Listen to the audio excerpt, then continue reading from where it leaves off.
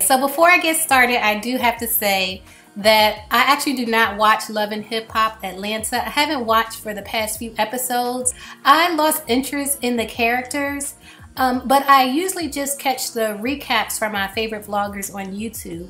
And I have been keeping up with the Kirk Frost versus Jasmine Washington paternity case via the Gwinnett County court records because those are the only two characters I'm really interested in.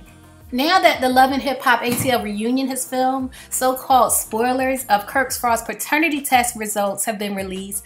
And I just want to clear up what's true and what's false based on what those Gwinnett County court records reveal. If you don't want to know if you just rather watch the reunion and see what happens, go ahead and click off this video. So the truth was, yes, there was a paternity test revealed at the reunion. But what's false is that the paternity test result proved Kirk Frost to be the father.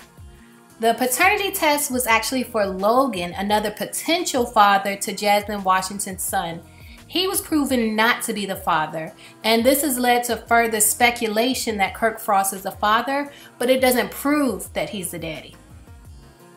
Now, there was an eyewitness account published on theshaderoom.com and it says that if you remember, Logan confronted Rasheeda in her clothing store and told her that he could be the father and submitted to a DNA test.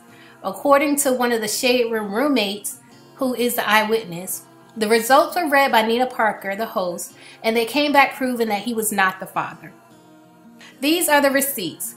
The Gwinnett County court records show that the plaintiff, who is Jasmine, has been trying to have the defendant, who is Kirk, served for months actually since January, and the process servers have not been able to locate Kirk. So this case is actually still an open case, and you can see that there's a note that says, issued to Kirk Linnell Frost, private process server summons, not established, not to be found, multiple attempts unable to serve defendant. So Kirk has not been served, and from what these court records show, he has not taken a paternity test as of yet. So the reunion for this season of Love and Hip Hop Atlanta may not have answered the question that we all want to know, is Kirk the father? But to me, his actions over the past few months have said it all.